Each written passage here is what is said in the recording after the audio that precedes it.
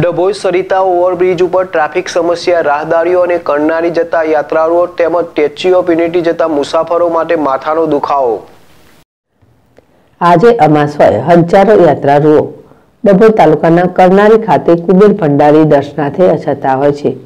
દર અમાસ ડભોઈ વડોદરા રોડ ઉપર વાહન વ્યવહાર અતિશય હોય છે. ત્યારે ડભોઈ સરિતા ક્રુસિંગ નજીક ઓવરબ્રિજ ઉપરથી પસાર થતા યાત્રાળુઓ સાથે રાહદારીઓને વારંવાર ટ્રાફિક જામની સમસ્યાનો સામનો કરવો પડતો રહ્યો છે.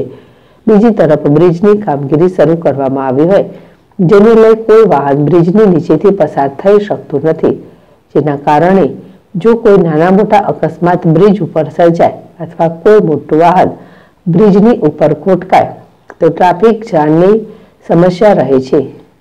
આજે પણ એક એલપી ટ્રકનો ટાયર બ્રિજની ઉપર ફાટતા એલપી ટ્રક બ્રિજની ઉપર અટકી ગઈ હતી, જેને કારણે રોડની બંને બાજુ ત્રણ કિલોમીટર જેટલો લાંબો ટ્રાફિક જામ કલાકો સુધી જોવા મળ્યો હતો.